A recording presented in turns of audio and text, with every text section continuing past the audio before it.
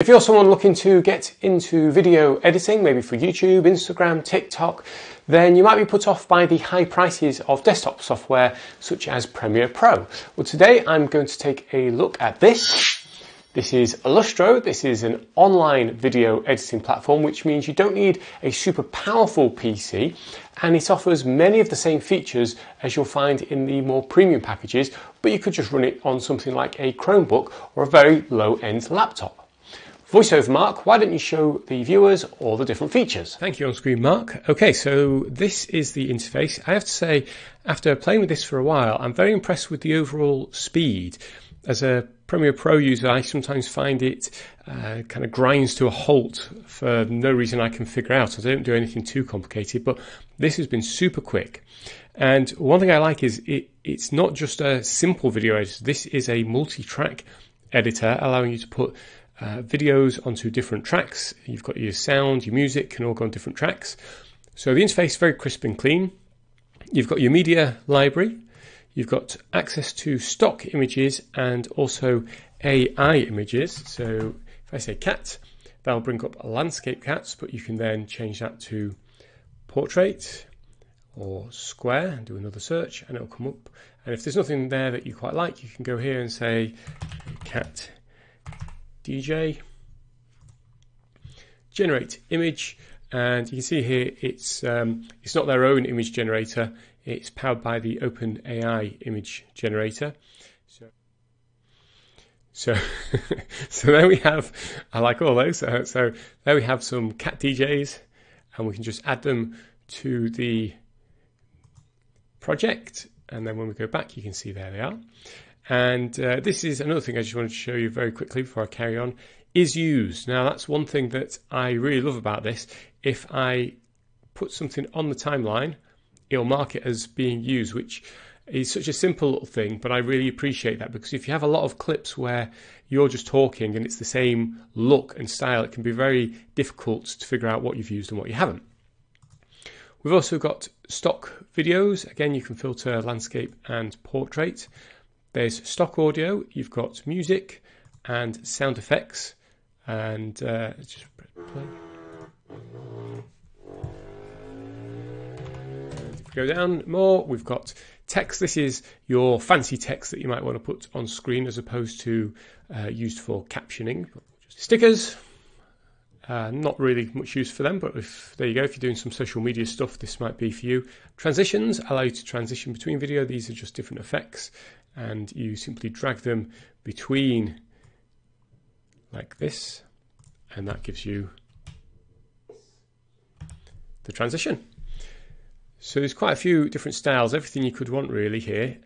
Filters, now, this is super interesting because when playing around with this, these filters, if I just go to LUTs, you've got quite a few more, are ones that you can pop on and they will apply to anything under it.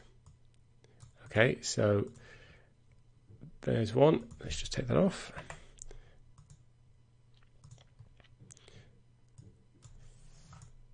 This is an online video so that's applying to all of them. Now, what if you just wanted to apply it to one?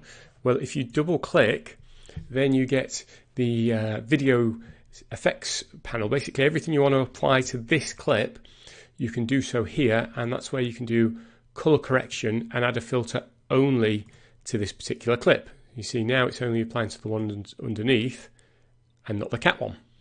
So when you click on a clip, you get the settings for that particular clip. So we've just applied that filter, but here you can see we've got the blending modes, transform, zooms, position.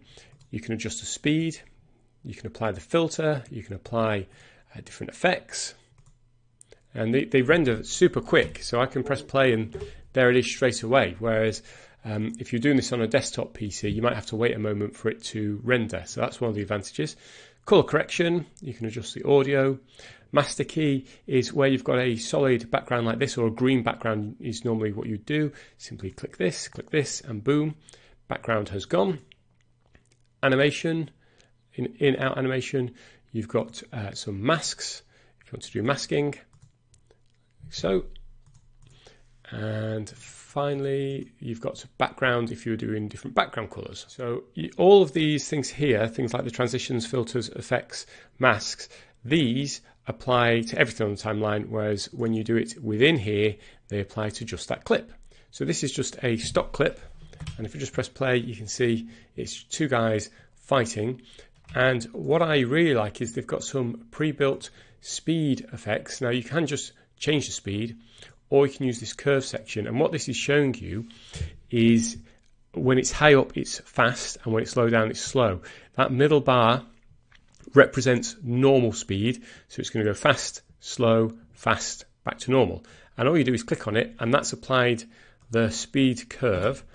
So now when we play it, there it goes fast, there it goes slow, that's the dip.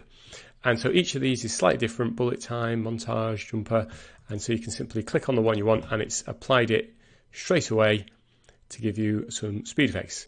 Then you can go and add some effects, so now it looks a little bit grainy, a little bit like it's film grain. So it's also worth noting they have a template library, which if we just go in and I do YouTube, so let's click YouTube. So we've got a lot of different templates available and they're sorted by aspect ratio.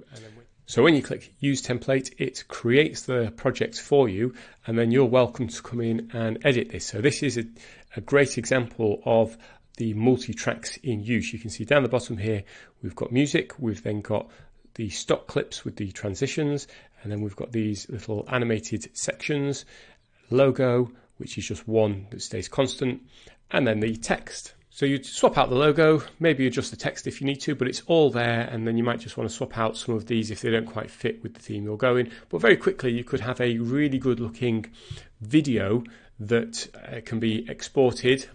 And when we go to export, you can Select whether you want it 480, 720, 1080 or 4K. There's the output type of MP4 or MOV.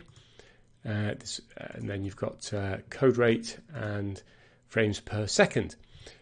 You can also take a small section of it and export it as a GIF, which I think is a pretty cool option as well. So I've been doing some experiments with this and I wanted to make a short for an upcoming video for another channel. And when I imported it, I've got it in the uh, correct format so it can do widescreen or portrait or square. And I've clicked on the, the clip and I've done auto subtitles and it's listened and created the subtitles. But there's a couple of things when I was doing this I noticed I think need to be improved. So first off, if we just play this a little bit.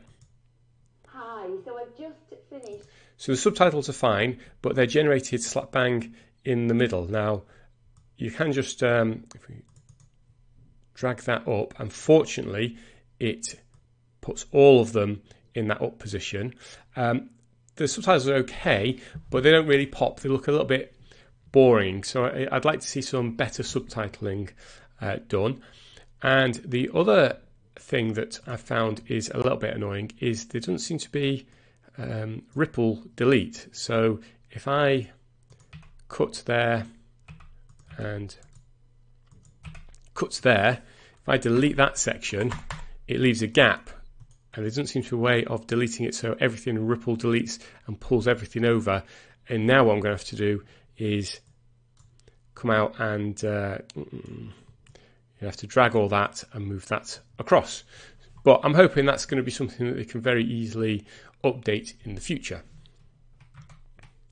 I'll put an affiliate link to this below. Right now it's available on AppSumo and if we scroll down you've got two choices 29 or 89. For me I think 89 is a great price one-time purchase for this because the difference is you get unlimited exports, unlimited use of the stock media which is images, video and audio, much higher storage, 4 hours of auto subtitles and ready to use templates.